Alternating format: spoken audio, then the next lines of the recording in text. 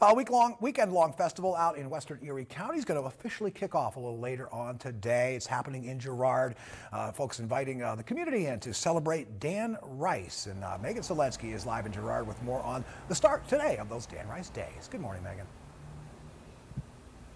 Good morning, Mark. It's a beautiful morning here in Girard. And as you can see behind me, there's not many people here with me yet, but it will be a busy scene later today. But I am not alone. There might not be many, but there is Gene Miller here, the organizer of Dan Rice Days. And what should people expect when they come out this afternoon and this evening for First Dan Rice all, Day? We'll be having this uh, opening ceremony at 6, but then we're going to have to be music, there's food, there's crafters.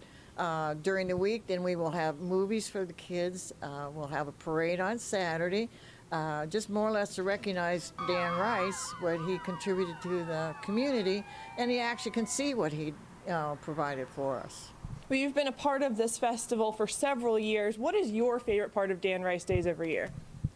Uh, probably the food, yes. And not not only that, to get to see people you haven't really seen. Everybody's so busy, and you know, get the chance to talk to different ones uh, at our uh, booth, and then uh, help the people out, provide information.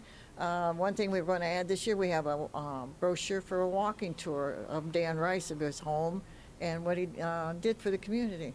And for people that haven't made the trip out to Girard for this, why is this event so special every summer?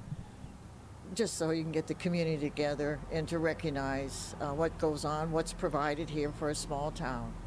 Well, there'll be tons of events all weekend long, tons of fun, tons of food here in Girard for Dan Rice Days. And again, those opening ceremonies start at 6 today, and the festivities will go all weekend long. From Girard, Megan Selensky, Erie News Now.